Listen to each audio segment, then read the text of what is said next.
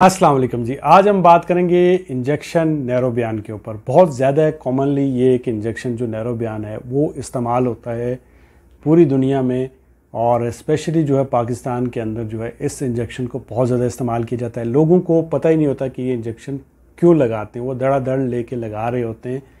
और जब पूछा जाता है, मुझे पाकिस्तान से किसी ने बताया, मुझे इंडिया से किसी ने बताया, मुझे बांग्लादेश से किसी ने बताया। सो आज की वीडियो में मैं आपको बताऊँगा कि इंजेक्शन नैरोबियान जो है वो क्यों लगाते हैं, इसका फ़ायदा क्या है, नुकसान क्या है, किस एज में लगाया जाता है, और अगर हम नैरोबियान इंजेक्शन नहीं लगवा रहे तो हमें इसकी अल्टरनेटिव क्या इस्तेमाल करना चाहिए। ये सारी जो डिटेल है इस वीडियो में मैं आपको बताऊँगा। सबसे पहले अगर आप मेरे चैनल पर नए हैं तो चैनल को सब्सक्राइब करिए, बेल के बटन को दबाइए, ताकि मेरी आने वाली हर वीडियो का नोटिफिकेशन आपको मिल सके। तो चलिए चलते हैं टॉपिक की तरफ़, इंजेक्शन नैरोबियान। आप में से बहुत सारे लोगों ने लगवाया होगा, लगवा रहे होंगे, या फिर आपने देखा होगा इधर उधर लोग लगवाते हुए इंजेक्शन नैरोबियान लगवा रहे हैं। लेकिन उन्हें एग्जैक्टली exactly पता ही नहीं होता कि ये जो नैरोबियान इंजेक्शन है, वो क्यों लगाते हैं। वो सोशल मीडिया से देखते हैं और उठा के लगा रहे होते हैं। सोशल मीडिया पे बहुत सारी जो मालूम होती है, वो गलत होती है और कभी भी कोई भी सोशल मीडिया की जो वीडियो होती है, वो आपको सेल्फ मेडिकेशन के लिए नहीं होती है। वो आपके एजुकेशनल पर्पज़ के लिए होती है। सो कभी भी सेल्फ मेडिकेशन मत करिए। कोई भी वीडियो सोशल मीडिया पे देख के, स्पेशली इंजेक्शन को कभी भी अपनी डॉक्टर से पूछे बिना अपने ऊपर ट्राई मत करिएगा। उसका रिज़ल्ट आपके लिए मुश्किल हो सकती है, आपको कोई भी आपकी जो है वो जान को ख़तरा हो सकता है। सो कभी भी इस तरह क्या आता कि आप अगर कोई मेडिसिन इस्तेमाल करते, तब भी आप जो है वो डॉक्टर से पूछ के करिए। लेकिन इंजेक्शन के अंदर स्पेशली ध्यान रखिए कि जब तक आपका डॉक्टर आपको नहीं बताता, तब तक कोई भी इस तरह का इंजेक्शन इस्तेमाल मत करिए। क्योंकि आपको पता नहीं होता। बहुत सारे लोग आते हैं, पच्चीस साल के, तीस साल के। आके बोलते हैं, हमें जी फलां साहब ने बताया कि ये इंजेक्शन लगाना है पाकिस्तान से, इंडिया से, दूसरी जगह से, तीसरी जगह से, फलां डिमका ठीक है? तो वो इंजेक्शन लगा लेते हैं। हालाँकि ये जो इंजेक्शन है नैरोबियान का, सबसे पहले तो आपको ये पता होना चाहिए कि ये जो इंजेक्शन है, ये हाई पोटेंसी वाइटामिन है। हाई पोटेंसी वाइटामिन है जो कि अगर आपको औरल थेरापी काम नहीं करती, जब आप औरल मेडिसिन ले रहे हैं, वो काम नहीं कर रही तो आपको ये जो इंजेक्शन है नैरोबियान ये आपको हाई पोटेंसी जो वाइटामिन है ये आपको दिया जाता है। अदरवाइज़ आपको जो मेडिसिन है वो दी जाती है उससे ही काम हो जाता है।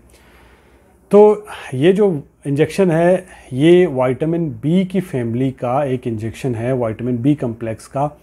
एक जो है वो आ, इसमें तीन तरह के जो है वो वाइटामिन होते हैं। इसमें वाइटामिन बी वन होता है वाइटामिन बी सिक्स होता है और बी ट्वेल्व होता है। यानी वाइटामिन बी वन थायामीन होता है वाइटामिन बी सिक्स पेरिडॉक्सिन होता है वाइटामिन बी ट्वेल्व यानी कोबालमिन होता है। सो ये तीन जो वाइटामिन है बी फैमिली के इसके अंदर मौजूद होते हैं। बात को ज़रा अच्छे से समझिएगा, आपको समझ आ जाएगी। अब मतलब क्या है इसका कि ये जो इंजेक्शन है, वो वाइटामिन की वाइटामिन बी की डेफिशिएंसी के लिए लगाया जाता है। सो हमें ये पता होना चाहिए कि वाइटामिन बी की जो डेफिशिएंसी है वो क्या है वाइटामिन बी क्या है और वाइटामिन डी की डेफिशिएंसी के साइन क्या हैं? ये हमें पता होना चाहिए। जब हमें ये पता चल जाएँगे तो हमें समझ आ जाए कि ये जो इंजेक्शन है वो क्यों लगाया जाता है। सो so, सबसे पहले तो वाइटामिन बी एक वाटर सोलेबल वाइटामिन है। इसके ऊपर मैं काफ़ी सारी लंबी वीडियो बना चुका हूँ वो देख सकते हैं। वाटर सोलेबल वाइटामिन है बी और वाइटामिन बी जो है वो आपकी बॉडी में ऐसा समझ लें कि सीमेंट और पानी का काम करता है आपके सेल्स की मेटाबॉलिज्म के लिए, आपके एनर्जी लेवल्स के लिए, आपके नर्वस सिस्टम को बहाल रखता है, आपकी जो आपके जितना भी आपके ब्रेन सिस्टम है ब्रेन के जो फ़ंक्शंस हैं, उनको भी कंट्रोल करता है। सो वाइटामिन जो है वो बी आपकी बॉडी के लिए ओवरऑल बहुत ज़रूरी है। एक वाटर सोलेबल वाइटामिन होता है, जितनी बॉडी को ज़रूरत होती है, रखती है, बाकी निकाल लेती है बॉडी आपकी जिसम से। सो इसके नुकसान जो है वो इस वजह से कम देखने में आए। अब ये जो वाइटामिन है इसके अंदर तीन तरह के वाइटामिन हैं ठीक है? अब वाइटामिन की जब डेफिशिएंसी होगी तब हमें वाइटामिन बी की डेफिशिएंसी होगी तब हमें ये इंजेक्शन लगाया जा सकता है। सो so, हमें डेफिशिएंसी होगी तो कैसे पता चलेगा कि हमारी बॉडी में वाइटामिन बी की डेफिशिएंसी हो गई है? वाइटामिन बी की डेफिशिएंसी के कुछ साइन सिम्टम हैं जो मैं आपको बताता हूँ जिससे आपको अंदाज़ा हो जाएगा अगली बात समझने में कि ये जो इंजेक्शन है वो क्यों लगाया जाता है। सो so, अगर आप में वाइटामिन बी की डेफिशिएंसी होगी तो आपको थकावट फील होगी जिसम में जो है वो जान नहीं होगी कोई काम करने का दिल नहीं करेगा कमज़ोरी फील होगी। इसके अलावा क्या होगा आपकी भूख जो है वो कम हो जाएगी। आप कहीं ना कहीं देखेंगे आपकी भूख जो है वो एक्सीडेंटली कम कम हो गई है। इसी तरह आप देखेंगे आपको जो है वो चक्कर आएँगे या फिर ये है कि आपका वज़न जो है वो सडनली कम होना शुरू हो जाएगा। इसी तरह आप देखेंगे कि आप में खून की जो है वो कमी हो जाएगी और इसके साथ जो है आपको कब्ज़ रहने लगेगी। आप देखेंगे कि आपकी जो यादाश्त है वो कमज़ोर हो जाएगी। इसके अलावा जो है हाथों और पाँव में आप देखेंगे कि कहीं ना कहीं आपको एक सुनपन सा फील होगा। सुन होंगी हाथ और पाँव आपको ऐसे महसूस होंगे। सो ये जो साइंस हैं वाइटामिन बी की डेफिशिएंसी के, इन सब साइंस के इसके अलावा नर्व्स आपकी कहीं ना कहीं कोई डैमेज हो गई, आपकी बैक कमर के अंदर कोई दर्द हो गया सो ये जो सारे सिम्टम हैं, ये वाइटामिन बी के जो जब आप में कमी होती है डेफिशिएंसी होती है, तब आपको ये जो साइन होते हैं, ये आते हैं। सो इन तमाम साइन के अंदर जो है, ये इंजेक्शन लगाया जाता है, लगाया जा सकता है डिफरेंट कंडीशंस के अंदर। अब बात करते हैं, इस इंजेक्शन में जो तीन वाइटामिन बी फैमिली के जो तीन वाइटामिन हैं, इसमें आता है नंबर वन पे थायामीन ठीक है? सर जब आप में थायामीन की कमी होगी वाइटामिन बी वन की कमी होगी तो क्या होगा? जब आप में वाइटामिन बी वन की कमी होगी तो आपको, आप देखेंगे कि कहीं ना कहीं आपकी भूख कम हो जाएगी, आपको हाथों और पाँव में एक सुन, सुनपन सा महसूस होगा वीएन आपकी ब्लर हो जाएगी। ठीक है? सो ये जो वाइटामिन बी जितना भी होता है, ये फ़ूड को कन्वर्ट करता है एनर्जी में। ठीक है? सो अगर आप में ये जो डेफिशिएंसी होती है, उसकी वजह से आपको ये वाला इंजेक्शन जो है, वो लगाया जा सकता है। सेकंड पे क्या है? पेरिडॉक्सिन वाइटामिन बी सिक्स जब आप में वाइटामिन बी सिक्स की डेफिशिएंसी होगी तो ये भी फ़ूड को कन्वर्ट करता है एनर्जी के अंदर तो आपको स्किन के ऊपर रैशेस हो सकते हैं। इसी तरह जो है, आप में डिप्रेशन हो सकता है, उल्टी आ सकती है, खून की कमी हो सकती है। आपका इम्यून सिस्टम जो है, वो अच्छा नहीं होगा। सो ये जो वाइटामिन बी सिक्स है, ये इसकी वजह से आपको ये जो सारी प्रॉब्लम्स है, वो हो सकती हैं। तो उसमें भी आपको ये वाला इंजेक्शन जो है, वो लगाया जा सकता है।